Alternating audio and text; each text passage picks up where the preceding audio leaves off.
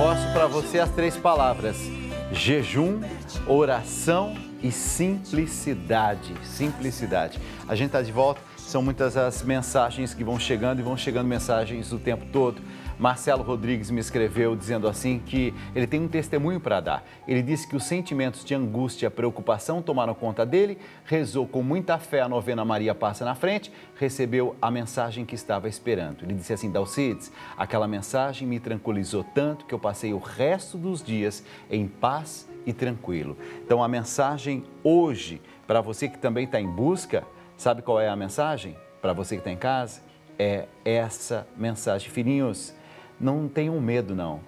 A minha misericórdia é maior do que essa dificuldade que você está vivendo. Não foi isso que a gente leu na palavra de Deus? Filhinho, não precisa se preocupar, não. Aquilo que você tem no coração é maior do que os perigos que estão nesse nosso mundo. A Sônia Gabriel também me escreveu e ela disse o seguinte: Dalcides, eu estou aqui em Pindamonhangaba assistindo o seu programa Estou é, pedindo orações pelas pessoas que sofrem com depressão e pelos desempregados. Vou rezar por você com todo carinho, com todo o amor e também pelas pessoas que estão em depressão. Muitas pessoas me escrevem e hoje, de forma especial, coloco cada uma dessas pessoas, ou que estão rezando comigo agora, ou que é, rezaram comigo à meia-noite, três horas da manhã, 11 15 da manhã, 4 e 15 da tarde, não importa o horário, eu continuo nas 24 horas de oração. A Eliana Acosta me disse assim, Dalcides, eu amo suas mensagens, eu não perco um programa, você já faz parte das nossas vidas. Muito obrigado, meu anjo. Eliana, obrigado, meu anjo, obrigado. Eu vou colocar todos esses pedidos daqueles que escreveram todos esses pedidos colocados aos pés dessa imagem de Nossa Senhora. E daqui a pouquinho nós vamos para a segunda parte da nossa novena, Maria Passa na Frente. Mas antes, eu quero mostrar uma poesia de Cecília Meirelles. Sabe que eu gosto muito das poesias dela? Ela que nasceu no Rio de Janeiro em 1901, órfã de mãe, de pai, e ela foi educada pela avó. E ela disse certa, certa vez assim: Muitas mortes acarretaram na minha vida muitos contratempos, muitas dificuldades.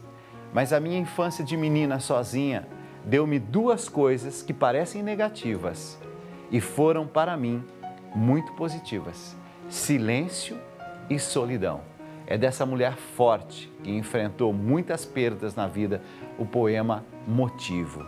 É para você que está me acompanhando agora, o poema Motivo, de uma mulher forte, mas que passou por muitas dificuldades. Vai lá.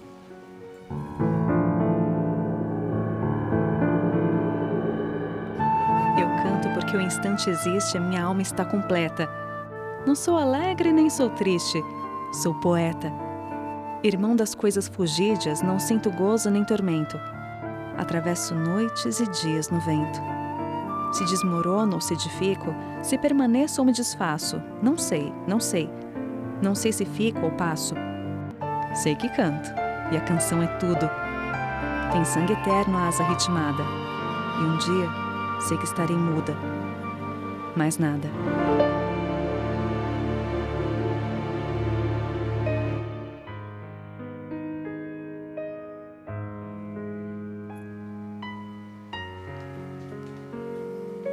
Hoje nós vamos rezar pelo estado do Acre e eu quero assim trazer todas as preocupações desses nossos irmãos e irmãs que estão lá. Maria passa à frente da minha vida e da minha saúde. Passa à frente, mãe, daqueles nossos irmãos e irmãs do estado do Acre.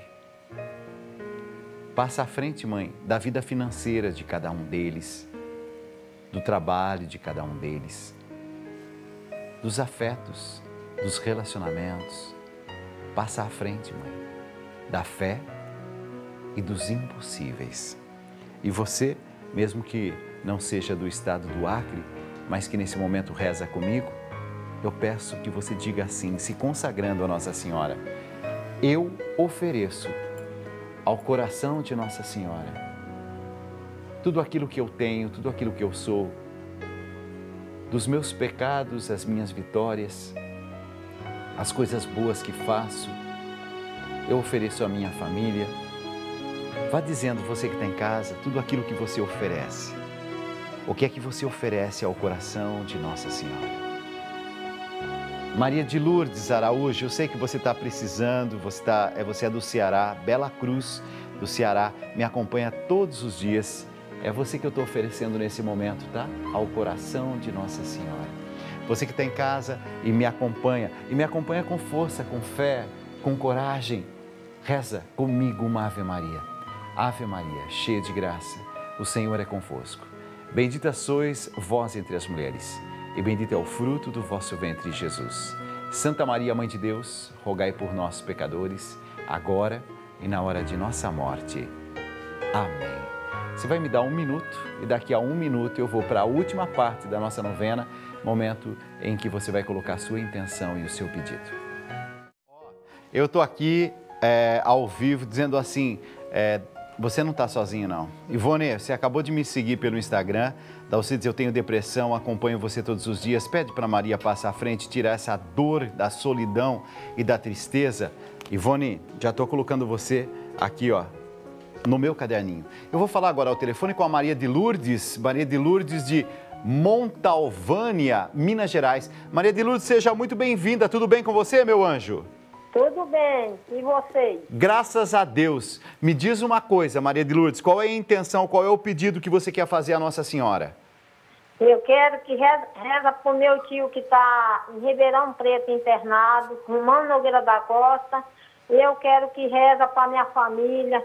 Eu quero que reza a intenção de uma, um, um, movimento que vai ter aqui em casa que minha menina vai casar. Eu quero que reza para as pessoas que chegam aqui, chegar com coração de criança. E quero que reza também para meu filho que trabalha em São Paulo, que Deus livrar ele de todos os perigos e dar ele uma boa sorte. E eu assisto Dalcide e eu sou muito agradecido pela novena de Maria passar na frente. Com muito carinho nesse momento, a gente vai colocar você em oração. Que coração lindo que você tem. Pelo seu tio, pela sua família, pelo seu filho de forma especial, para que todos sejam protegidos e para que aquele que estiver mais precisando de saúde, que venha a cura. Vamos rezar agora. Vai.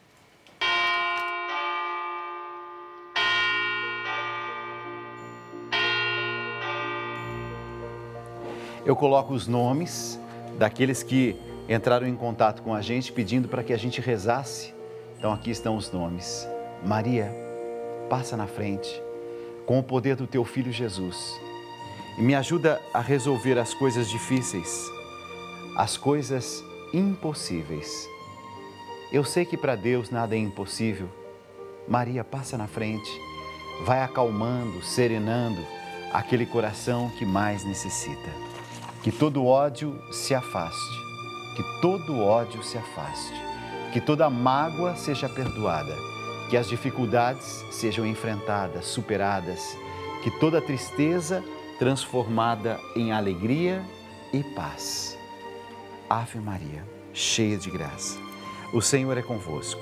Bendita sois vós entre as mulheres, e bendito é o fruto do vosso ventre, Jesus.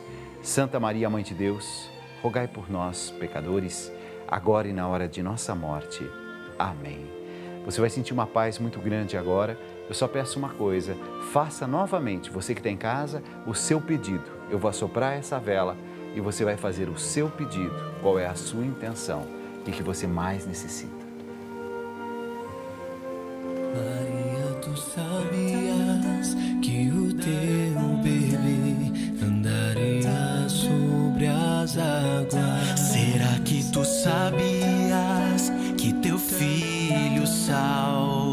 salvaria os nossos filhos? Tu sabias. Em um minuto, nós vamos juntos traçar o sinal da cruz sinal de bênção e sinal de proteção. Vai. O programa terminou, mas eu quero, nesse momento, que você trace o sinal da cruz. Não foi assim que a gente começou? Proteção para nós, para os nossos familiares, para aqueles que amamos. Em nome do Pai, do Filho e do Espírito Santo. Amém. Fica na paz. Tchau.